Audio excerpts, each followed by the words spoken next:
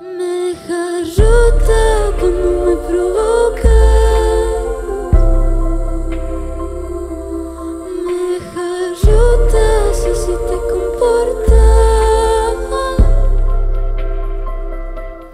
Me deja rota, no te brota. Hombre, pues me hace una ilusión tremenda, pero tremenda, em, porque em, era una deuda que tenía todavía un poco pendiente con, con mi pueblo y con mi tierra, el venir aquí y cantar y que se había ido aplazando durante, bueno, pues casi un año, incluso más de un año desde que salí de OT. Y, jolín, sí que es verdad que yo este escenario ya lo he pisado como un poquito cuando fueron los premios de la música, pero que tenía como muchas ganas de traer a todo el equipo y el show completo, porque al fin y al cabo, eh, jolín, yo también tengo como muchos recuerdos de, yo haber estado aquí viendo conciertos o, incluso en el cine de verano que se hacía o yo qué sé, todas estas cosas que se organizan así como guays culturalmente aquí. Y no sé, me hacía, me hacía muchísima ilusión. Cada noche repetía y ni con eso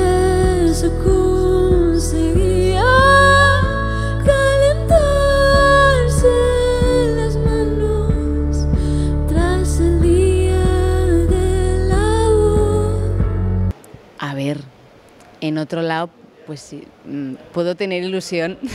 Y yo la verdad es que en mi pueblo digo, ojalá, ¿no? Que sí que, sí que tenía muchas ganas de, de poder llenarlo y tener también un- una experiencia ligeramente eh, parecida a lo que sería pues ver un sitio lo más completo posible.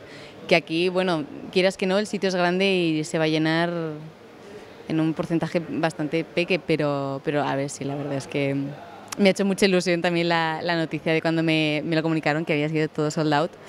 O sea que, jolín, con muchas ganas ya. O sea, ahora ya no puedo defraudar. a- No lo iba a hacer, pero ya el defraudado está fuera de la mesa. Dame pelo para unir lo que se ha roto. Pásame en papel que yo lo anoto.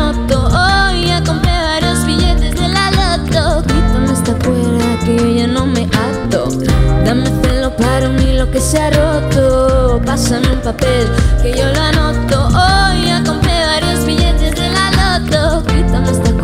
Yo ya no me. Pues lo hemos planteado de una forma mm, bastante amena. Eh, tiene una curva muy clara de, tipo de canciones está todo hilado de una forma muy concreta. em, porque mm, el disco eh, básicamente habla sobre emociones y, y sobre pues, dos estados de ánimo. Entonces un poco aprovechamos este concepto para darle un hilo argumental al concierto e ir de menos a más. Entonces eh, nos vamos a encontrar, o os vais a encontrar, eh, un tipo de concierto un poco donde, mm, no sé, olvidarte un poco de, de toda la mierda que está pasando fuera y, y un poco abstraerte. Y la, y la mayoría de temas que, mm, que vamos a tratar tienen un toque como etéreo o no sé, tiene como, como esta energía o esta magia así como, como más llevadera, entonces eh, yo creo que hemos hecho un, show como bastante especial.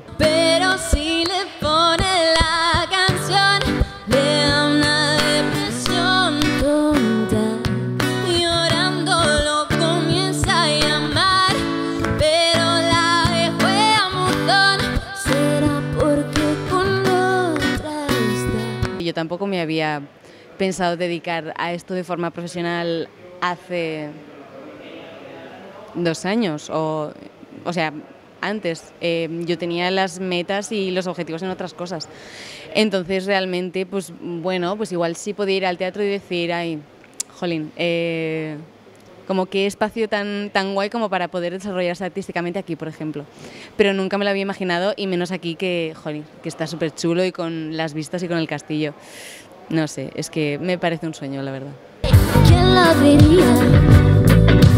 Que se podía hacer el amor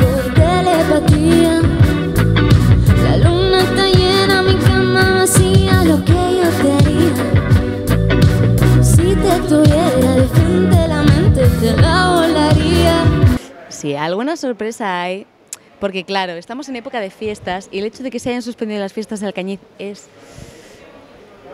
No mola, no, no quiero decir palabras en televisión, pero eh, sí que mm, hemos preparado una canción especialmente eh, para hacer un pequeño homenaje a, un momento muy concreto que, que, ocurre en las fiestas del Cañiz en mi local. Y hemos preparado una canción especialmente para, para este momento, como para, jolín, volver a conectar un poco con, con la esencia que, que, teníamos mis amigos y yo en, en, las fiestas de este pueblo y que de repente las hacían tan grandiosas y todos empezamos a, a cantar a coro y nos veníamos arriba. Y bueno, y, y, una de las canciones inéditas que va a salir en el siguiente trabajo que, que también la podéis oír esta noche. Y esta es nueva y está hecha especialmente para el público de hoy, así que espero que la disfrutéis.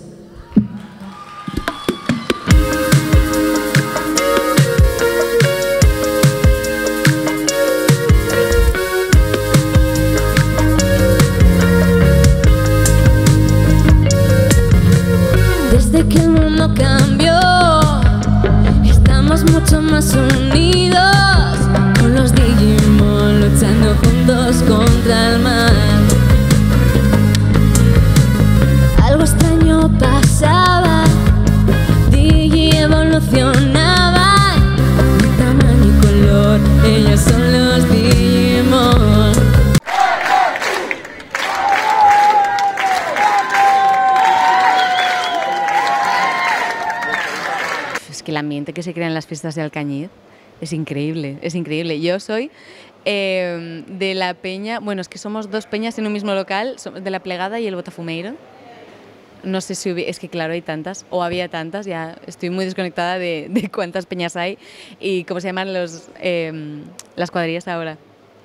Pero jolín, o sea, yo tengo los recuerdos de eh, el día que era el chupinazo, despertarnos todos súper pronto, vestirnos con la ropa de, de local, ir a tomar eh, pan con chorizo o ir a ver, eh, jolín, todas las cosas que se hacían en la plaza y acudíamos, si no a todos, a casi todos los eventos que se hacían porque, jolín, ya que vivíamos las fiestas, las vivíamos... Mmm, del primer día hasta el último, costase lo que costase, eh, subiendo todas las noches a ver el toro de fuego a la plaza, tuviera borrachos o no tuviera borrachos, o sea, viviendo la full.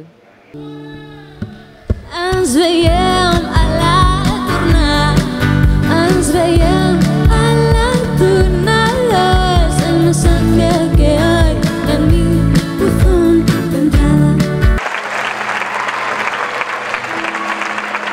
Y a la memoria me trae cosa que está volviendo, y a la memoria me trae cosa que está volviendo. Ponme la mano aquí, Catalina, ponme la mano aquí. Realmente, eh, yo, como el acercamiento musical que he tenido aquí, eh, es que yo de pequeña iba al conservatorio, estudié eh, guitarra allí. Eh, también estuve muchísimos años yendo al ballet y, bueno, quieras que no, eso también como que te acerca a una cierta sensibilidad musical, aunque sea para, para moverse. Eh, luego también recuerdo que fui a, un, a unas clases de canto eh, con, con, una chica que las daba aquí, pero que, que no era de aquí, majísima. Y, y luego realmente la mayoría de las como intervenciones musicales que ocurrían eran en mi local, porque, bueno, eh, Antonio Clavería, que es el de Uña y Carne, que dentro de una, de una semanita también viene aquí, es de mi local, y entonces nos montábamos ahí con todos sus primos y todos nuestros amigos unos conciertos improvisados en nuestro local chulísimos. Entonces, claro, es que tampoco necesitabas mucho más. Ese, oh, ese, dame ya una